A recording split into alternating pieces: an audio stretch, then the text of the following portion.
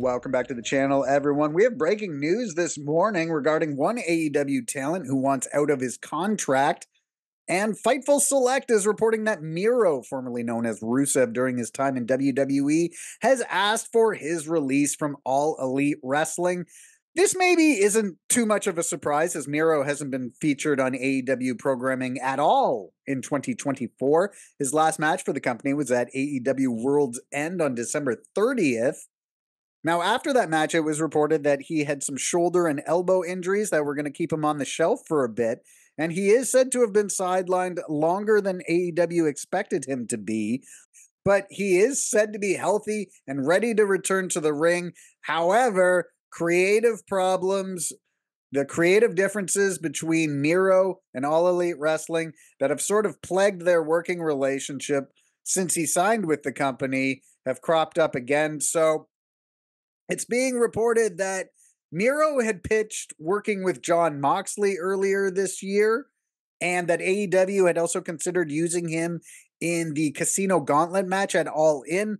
However, the two sides, AEW and Miro, just couldn't get on the same page creatively once again, and that has been the story of the last four years for Miro in this company. So he debuted in September 2020. It started off all fine. He was doing a gimmick as the best man and was aligned with Kip Sabian and Penelope Ford. He had a run as TNT champion, but things started to fall off and he was used on AEW programming less and less.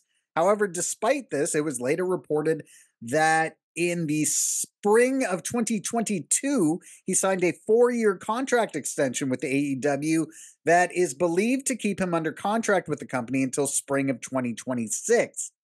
So there's no word on if AEW does plan on releasing Miro or not. If they don't, it seems like he could just be sitting on the sidelines until all the way till like March 2026. And it's also being said that he earned seven figures on his deal. And that's seven figures to just sit at home. That's not a bad gig if you can get it. Perhaps there is interest from WWE in having Miro return to the company, and that could be something that is motivating Miro to get released from AEW, but that's just speculation. We don't have any news on whether or not that's the case. A few other bits of wrestling news to keep you up to date in preparation for the Mr. McMahon docu series that is set to release on September 25th, so that's next Wednesday. Janel Grant has enlisted the PR firm SKDK, and that is the firm that has previously worked with high-profile cases uh, such as the working with the survivors of Harvey Weinstein and Jeffrey Epstein.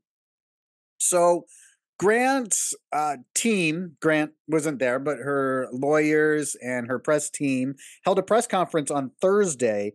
And this is what Ann Callis, that's Grant's lawyer, uh, said to press at this meeting. They said, We have not seen the documentary, referring to uh, the Mr. McMahon series on Netflix. She continued, Janel deserves the opportunity to tell her full story, not to be a part of someone else's. She will get her day in court, and McMahon will be held accountable. And Janel has the right to tell her story in her own way at the right time. Janel's story is an important one, and we hope Netflix's docu-series does it justice. Her experience is integral to an accurate and whole retelling of the story of WWE and Mr. McMahon. Let's go over some of the other items making headlines in the world of professional wrestling today. So, Kota Ibushi has been announced for a GLEAT show next month. He is going to be on the GLEAT event in Edion Arena in Osaka on October 6th. It's not clear who Ibushi's opponent is going to be on the show, but this is a fairly big show that GLEAT is putting on. Ricochet is also going to be on the show. He's teaming with Shima to face El Hijo del Vikingo, provided that Vikingo is cleared, he still hasn't been cleared to return, and he was scheduled uh, for a show in Mexico that he wasn't able to make. Also, Zachary Wentz and Trey Miguel of the Rascalz will be on the show, as will former NXT and AEW wrestler Parker Boudreaux. Jim Ross has confirmed that he will be doing commentary for AEW Grand Slam. He mentioned this on his podcast and also said he might be doing more than usual on the show, as of late, he just kind of does one match or a big match on a pay per view. So Jim Ross expected to play a role on at AEW Grand Slam. And that's all the big news for right now. Thanks again, everyone, for supporting this channel. Please remember to click the subscribe button, the like button, and the notifications bell. And we'll see you again next video.